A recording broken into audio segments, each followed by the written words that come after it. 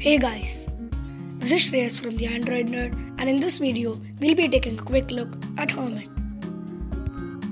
Hermit replaces apps that drain your battery with lite apps. This can save a lot of space and battery life. With that being said, let's look into the application now. When you open the application, there's a plus button at the bottom right. When you click that, you can see a number of options. Or you can search for websites.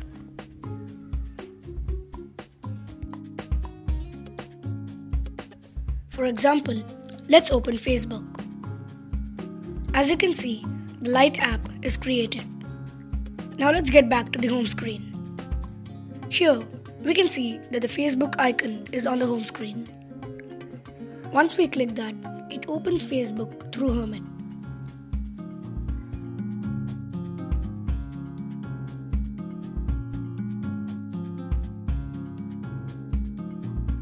When you swipe left or click the settings button at the top right, you have a few options to choose from.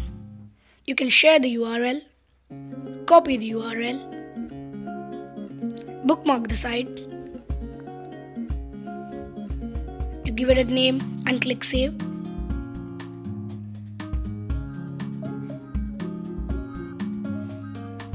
Or you can even open it in the web browser.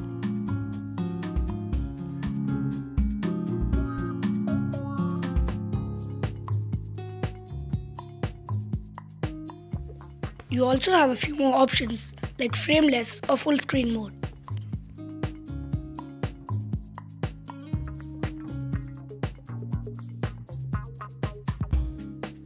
You can also increase or decrease the size of the text.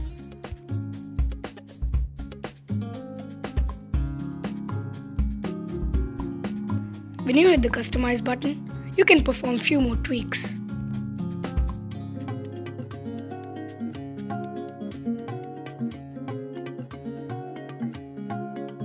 For example, you can enable desktop site or the data saver mode.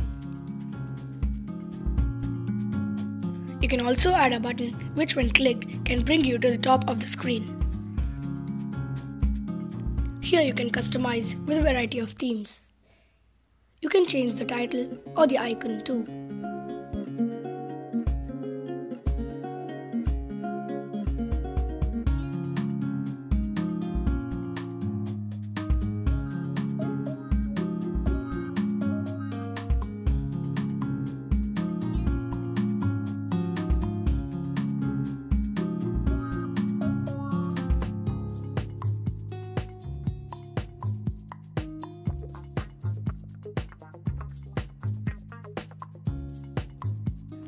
So that's it for this video guys.